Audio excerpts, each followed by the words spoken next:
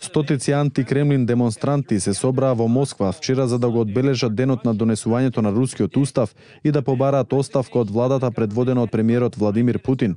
Членовите на повеќе опозицијски групи носеа знамиња, транспаренти и постери и извикуваат долу со власта на крадците на московскиот плоштад Пушкин.